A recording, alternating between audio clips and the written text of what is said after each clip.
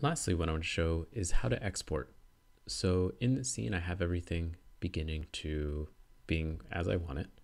And to export, make sure nothing is selected inside your film and you have your work area set to the last area of your frame here. If you have this extended out, you're going to render this blank space at the end here.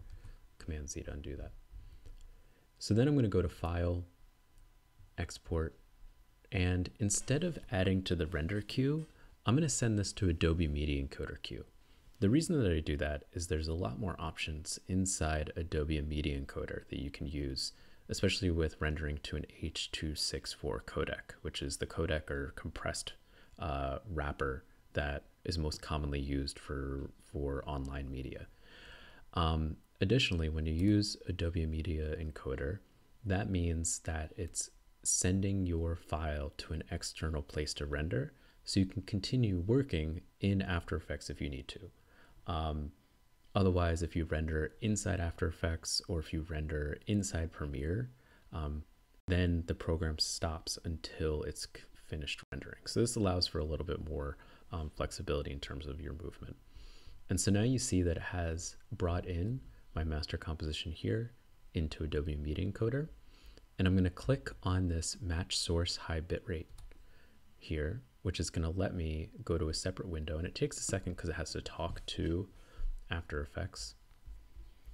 And let's shrink down this window so we can see it a little bit more clearly. So inside here, it's showing us our source range. So right now it's set to the work area, which is what I want. If I did the entire composition, notice that it does the full 20 seconds. You can also do custom and drag these points to where you want them to go. But I'm going to go back to work area because that was what I had set. To choose where you're going to save it, I have to click on this blue text here. So master comp, and I'm going to put it inside my After Effects folder and call this um, rendered film JR and do save. And where you see format, this is where you're going to have to select H.264 and not H.264 Blu-ray. Um, by default, I think it pops up as QuickTime or as um, MPEG-4. For us, we're going to choose H.264. And then you're going to choose the, mat, the preset match source. It should do that by default. And what you want to see is, do does your output match your source? So 24 frames per second, 1920 by 1080, 1920 by 1080. Um, and here it says your source is 20 seconds, and we're shrinking it down because we're going to our work area. Down here, there's a couple settings that you'll want to set up.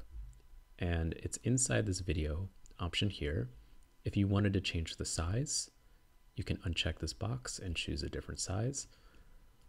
If you wanted to change the frame rate, same thing, uncheck this box and choose a different frame rate. But for us, we just want to check render maximum depth and use maximum render quality. This just ensures that you're to have the best um, output possible. Inside here, you, you don't need to worry about um, setting the bitrate settings. Don't worry about that for now. You're not necessary for the purposes of this project. And then you say OK. And so it has selected where it's going to go. It's done some custom settings because you made a custom. And to have this render, hit the play button. And depending on how long your film is, that's how long the render will take. If it's a couple minutes long, it might take 10 minutes. Um, also depends on the speed of your computer.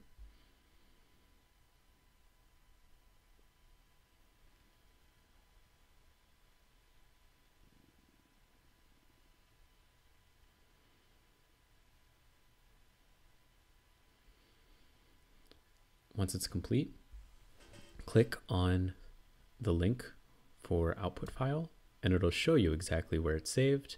And when you double click on it and preview it, it'll show you it at the full render. And one thing that you can do is do this, you know, while you're working to see the best quality output of what you're working on. Don't just wait to the end to see what it looks like because maybe there's things that you want to change. Um, maybe the timing is a little off. Maybe it runs a little bit faster than you thought. So this is how I would uh, suggest that you